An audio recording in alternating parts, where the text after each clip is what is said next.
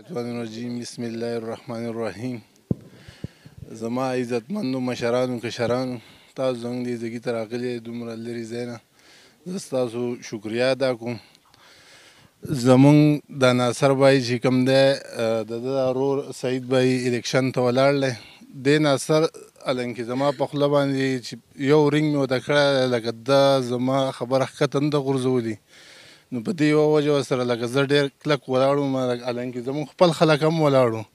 خو ما هلته کې هم دا وینا کړې وه چې بایی زه ناصر سره ولاړ یم او ناصر ورور له به ووټ ورکوم خو لکه ناصر په خپله ډېر یو تکړه سړی دی لکه په یو خبره کې موږ پاتې نه یو راایستي نو بس زما دې ټول ته دا خواست دی چې یاره بایی که دې ناصر ته تاسو دا ووټ ورکړئ نو سبا لکه په نیمه خوله هر ټایم به تاسو ته حاضرېږي لکه اورې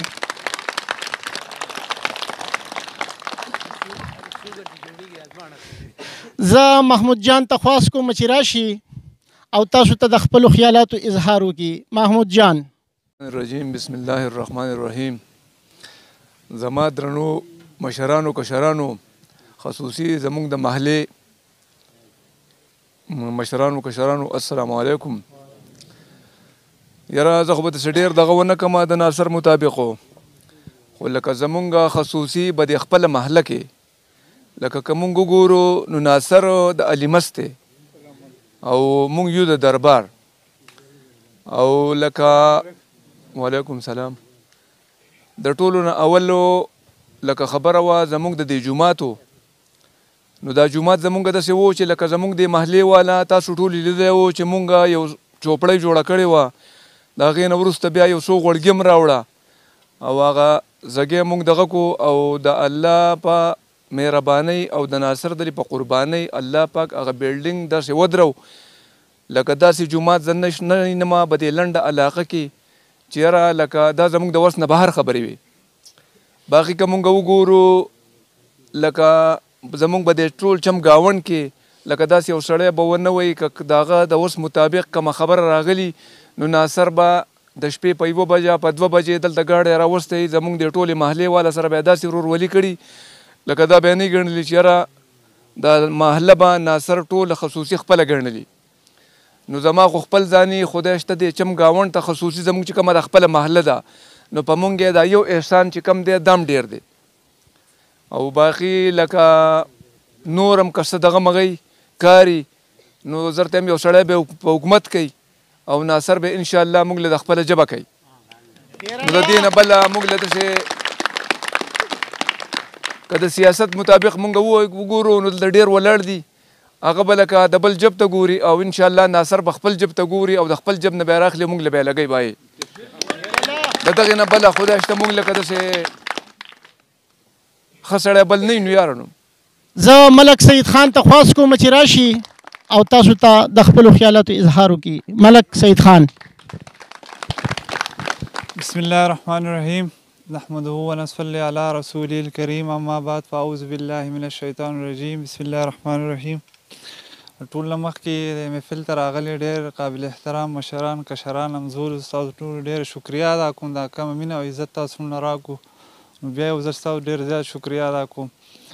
څنګه چې تاسو ته پته دا د یو کور کلي خبره زه د دې کور کلي یو بچی یم په حیثیت ستاسو یو ورور یم تاسو زما مشران یې زما عزت ستاسو دی ستاسو عزت زما دی زما به ګډ دا داسې به نه وای چې سعید تاوان وشو دا ستاسو د ټولو تاوان وشو مشران دومره مطمئن دي کومې خبرې چې دوی وکړې پر هغې مطابق الحمدلله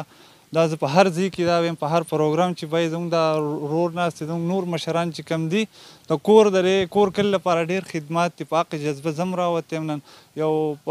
نن یو څوک مخکې چې کم په خدمات به جذبه زموږ د مشران ناوته په هغه څه درن یو کشر راوته ما نو څنګه چې تاسو ته پته را بلدیاتي هلي ځلي رانږدې شوي دي پايي کي بحيثيت مام يو حصه اغستي له جنرن له ولاړ يم تر ماس مي نه خره دقه يې راته پلار او مشرانو ښوولي چي دې کور کلي له خدمات وکي په دقه نه تيراوتی يم دروغ له نه